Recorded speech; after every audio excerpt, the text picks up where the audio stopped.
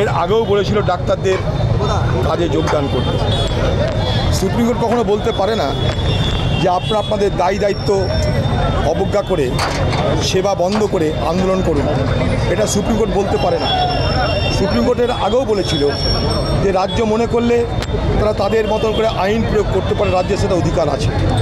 সেই অধিকার ফলাতে গিয়ে বাংলার মুখ্যমন্ত্রী আপনাদের মনে আছে যে কলকাতায় জনসভায় বলেছিল যে ডাক্তারবাবুরা, আপনাদেরকে আমি অনেক কিছু করতে পারি, এফআইআর করতে পারি, আপনাদের জীবন বিপন্ন করতে পারি, ভবিষ্যৎ ধ্বংস করে দিতে পারি। আপনারা কাজে যোগদান করছে ভয় ভীতি দেখানো হয়েছিল। সেদিন বলা হয়েছিল, বাংলার যুবকদেরকে তোমরা আগামী দিনে ফস করতে শেখো। আমি আমার লাইন বদলে দিয়েছি, এখন বদল নেই এখন বদলার রাজনীতিতে ফিরে এসেছি আমি। তো স্বাভাবিকভাবেই সুপ্রিম কোর্টের এই আদেশ নতুন কিছু নয়। এর আদেশ আগেও ছিল, এই আদেশ আজও আছে। এটাই সুপ্রিম কোর্টের আইন, এটাই দেশের আইন।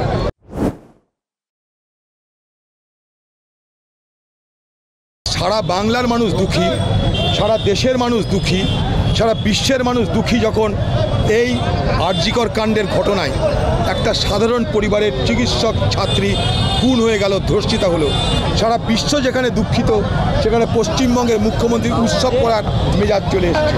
তাই বাংলার মুখ্যমন্ত্রীকে বলব আগামী দিনে আপনার নিজ গৃহে যারা ধর্ষক, তাদের মূর্তি স্থাপন করে আপনি পুজো করবেন, সেটা বেশি মানাবে।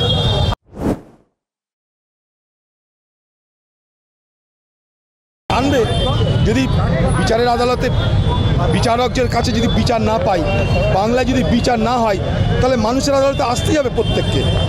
মানুষের আদালতে আসা মানে তাকে ফাঁসি দেওয়া নয়। মানুষের আদালতে আসা মানে সেই সরকারের বিচার হওয়া। সরকারের বিচার কী হয় গণতন্ত্রে? আপনি, আমি সবাই জানি। কিন্তু আদালতে তো বিচার হবে কি করে? আদালতে বিচার করতে গেলে তথ্য চাই, প্রমাণ চাই। সেই তথ্য লোপাট করা হয়েছে। গাছের গোড়া কেটে দেওয়া হয়েছে। গাছের আগায় জল ঢেলে বলছে, আমি চেষ্টা করছি। এ এ মিথ্যাবাদী, এ সঠতা, এই ছলনা বাংলার মানুষের সঙ্গে মুখ্যমন্ত্রী এতদিন করেছে, আগামী দিনে পারবে না।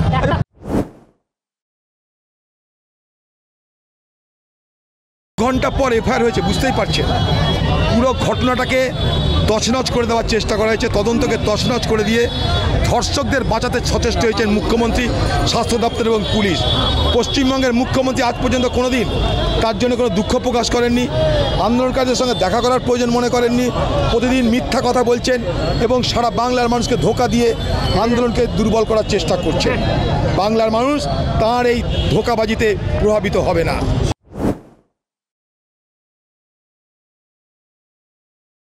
কোটি টাকা খরচা করছে ধর্ষকদের বাঁচাতে। এটাই বাংলার মুখ্যমন্ত্রী করে। বাংলার মুখ্যমন্ত্রী চোর, ডাকাত, ধর্ষক, খুনি, তাদেরকে বাঁচাতে কোটি কোটি টাকা খরচা করছে সুপ্রিম কোর্টে।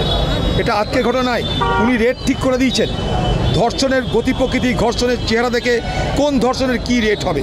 কোথাও দু লাখ, কোথাও পাঁচ লাখ, কোথাও দশ লাখ।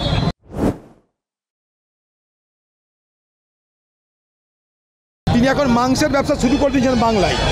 তিনি বাংলায় মাংসের ব্যবসা শুরু করে দিয়েছেন। কোন ধর্ষণের কত রেট হবে? এরপরে সেই ধর্ষণের টেন্ডার ডাকা হবে। যারা যারা ধর্ষণ তারা টেন্ডারে অংশগ্রহণ করবে। এটাই বাংলার মুখ্যমন্ত্রী আগামী দিনে করবে বাংলার মানুষের জন্য।